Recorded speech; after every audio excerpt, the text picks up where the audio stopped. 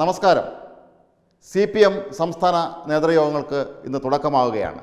ആദ്യം സെക്രട്ടേറിയറ്റ് യോഗവും പിന്നീട് സംസ്ഥാന സമിതി യോഗവുമാണ് ചേരുന്നത്. ഈ ഇപ്പോഴത്തെ ഈ സംസ്ഥാന നേതൃയോഗത്തിനുള്ള ഏറ്റവും വലിയ പ്രത്യേകതകളിലൊന്ന് തിരഞ്ഞെടുപ്പിന് ശേഷം ചേരുന്ന ആദ്യത്തെ പ്രധാനപ്പെട്ട ഒരു സംസ്ഥാന സമിതി യോഗമാണ് എന്നുള്ളതാണ്. ഒട്ടേറെ വിഷയങ്ങളാണ് പ്രതിസന്ധികളാണ് സി പി എമ്മിനെ നേരിടാനിരിക്കുന്നത്. അതിൽ ഏറ്റവും പ്രധാനപ്പെട്ട കാര്യം കഴിഞ്ഞ ദിവസം സുപ്രീം കോടതിയിൽ സർക്കാർ അഭിഭാഷകൻ തന്നെ കെ എം മാണി അഴിമതിക്കാരനായിരുന്നു എന്ന് നൽകിയ ആ വിശദീകരണം തന്നെയാണ് ഇന്നത്തെ ഏറ്റവും പ്രധാനപ്പെട്ട കാര്യം. കാരണം അതിൽ ഘടകകക്ഷി ആണ് കേരള കോൺഗ്രസ് മാണി ഗ്രൂപ്പ്. അവരുടെ നേതാവ് അന്തരിച്ച നേതാവിനെക്കുറിച്ച് സർക്കാർ വക്കീൽ തന്നെ അത് അഴിമതിക്കാരനായിരുന്നു എന്ന് പറഞ്ഞതിൽ അതിശക്തമായ പ്രതിഷേധവുമായാണ് ആ കേരള കോൺഗ്രസ് മാണി ഗ്രൂപ്പ് നേതാക്കൾ രംഗത്തെത്തിയിരിക്കുന്നത്. ഇക്കാര്യം തീർച്ചയായും ഇന്നത്തെ നേതൃയോഗങ്ങളിൽ ചർച്ചയാകും. എന്തിങ്ങനെ സംഭവിച്ചു എന്നുള്ളതിനെക്കുറിച്ച് പ്രധാനമായും ചർച്ചയാകും. മറ്റൊന്ന് ഉള്ളത് നേതാക്കന്മാർക്കെതിരായ നടപടികളായിരിക്കും. ഒട്ടേറെ നേതാക്കൾക്കെതിരെ കഴിഞ്ഞ തെരഞ്ഞെടുപ്പുമായി ബന്ധപ്പെട്ട് ആരോപണങ്ങൾ ഉയർന്നിരുന്നു. അതിൽ പ്രധാനമായും ഒന്ന് അമ്പലപ്പുഴയിൽ ജി സുധാകരൻ അവിടുത്തെ സ്ഥാനാർത്ഥി സലാമിനെതിരെ പ്രവർത്തിച്ചതായി പലരും വ്യാപകമായി പരാതി പറഞ്ഞിട്ടുണ്ട്. അപ്പോൾ സുധാകരൻ മുതിർന്ന നേതാവാണ്. അതുകൊണ്ട് തന്നെ അദ്ദേഹത്തിന്റെ നടപടി എടുക്കണമെങ്കിൽ പോലും അത് സംസ്ഥാന സമിതിയിലോ സംസ്ഥാന സെക്രട്ടേറിയറ്റിലും മാത്രമേ അതിന് കഴിയുകയുള്ളൂ. അതുകൊണ്ട് തന്നെ നേതാക്കന്മാർക്കെതിരായ നടപടികൾ ഇത്തവണത്തെ യോഗത്തിൽ പ്രധാന ഒരു ചർച്ചാ വിഷയമാകും. വെട്ടിനിരത്തൽ എന്ന് പണ്ട് പറയാറുണ്ടായിരുന്ന ആ ഭാഷ പ്രയോഗിക്കുകയാണെങ്കിൽ ഒട്ടേറെ നേതാക്കൾക്ക് വെട്ടിനിരത്തലുണ്ടാവാനുള്ള ഒരു സാധ്യത ഇത്തവണ ഉണ്ട്. മറ്റൊരു പ്രധാനപ്പെട്ട നേതാവ് കുറ്റ്യാടിയിൽ നിന്നുള്ള ജയിച്ച കെ പി കുഞ്ഞഹമ്മദ് ആണ്. അദ്ദേഹത്തിന്റെ സീറ്റ് നിഷേധിച്ചതിനെ തുടർന്ന് വ്യാപകമായി അദ്ദേഹത്തിന്റെ അനുയായികൾ അവിടെ പ്രതിഷേധം നടത്തിയിരുന്നു. ഇതിനെ തുടർന്ന് അദ്ദേഹത്തെ ജില്ലാ സെക്രട്ടേറിയറ്റിൽ നിന്ന് ജില്ലാ കമ്മിറ്റിയിലേക്ക് തരം താഴ്ത്തിയിരുന്നു. അദ്ദേഹം സംസ്ഥാന നേതൃത്വത്തിന് ഇക്കാര്യത്തിൽ അപ്പീൽ നൽകിയിട്ടുണ്ട്. തന്റെ തനിക്കെതിരായ നടപടി പരിശോധിക്കണമെന്ന് പറഞ്ഞ്.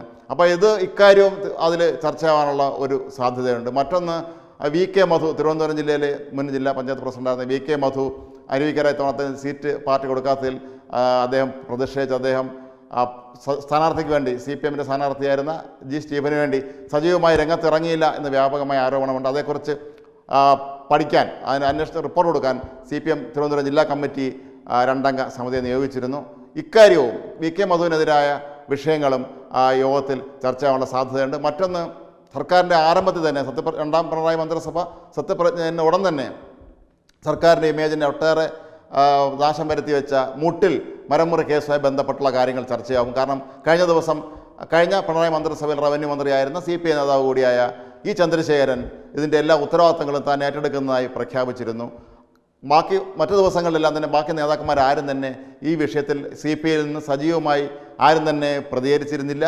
എന്തായാലും ഈ മുട്ടിൽ മരമുറി കേസ് സർക്കാർ ഉണ്ടാക്കിയ ദോഷം അത് ചർച്ച ചെയ്യാൻ സാധ്യതയുണ്ട്. മറ്റൊന്ന് എം സി ജോസഫിന്റെ രാജിയെ തുടർന്ന് പുതിയ വനിതാ കമ്മീഷൻ അധ്യക്ഷയെ നിയോഗിക്കുന്നത് സംബന്ധിച്ചാണ് ഇക്കാര്യത്തിലും ഈ യോഗത്തിൽ തീരുമാനമുണ്ടാവും എന്നാൽ ഇതിലെ പ്രധാനപ്പെട്ട വിഷയങ്ങൾ ഇത്തരം പാർട്ടിയായി ബന്ധപ്പെട്ട വിവാദങ്ങൾ തന്നെയാകും ഇത്തവണയും പ്രധാന ചർച്ചാ വിഷയമെന്നുള്ള കാര്യത്തിൽ യാതൊരു സംശയവുമില്ല.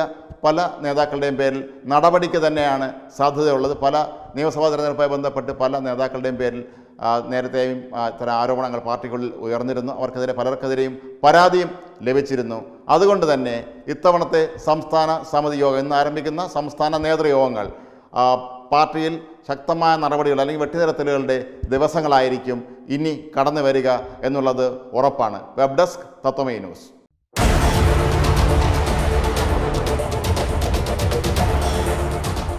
Hot line എന്ന പേരിൽ ചാനൽ നടത്താൻ ഉദ്ദേശിക്കുന്ന പരമ്പര. അത് സ്വാഗതമായിരിക്കും എന്ന് ഞാൻ പ്രതീക്ഷിക്കുന്നു. ആശയവിനിമയം നടത്താൻ വാദമുഖങ്ങൾ ഉന്നയിച്ച് വിഷയങ്ങളെ സമർത്ഥിക്കാൻ എല്ലാവർക്കും കിട്ടുന്ന ഒരവസരം കൂടിയാണിത്. തീർച്ചയായിട്ടും ഈ ഹോട്ട്ലൈൻ ജനമനസ്സുകളിൽ വലിയ ഒരു പരിവർത്തനം ഉണ്ടാക്കാൻ ഇടയാകട്ടെ എന്ന് ഞാൻ ആശംസിക്കുന്നു. എല്ലാവിധത്തിലും അതിന് സ്വാഗതം ഈ നാട്ടിലെ ജനങ്ങൾ നൽകും എന്ന് തന്നെയാണ് എന്റെ പ്രതീക്ഷ. ഒരിക്കൽ കൂടി എല്ലാവിധ ഭാവുകങ്ങളും നേരും.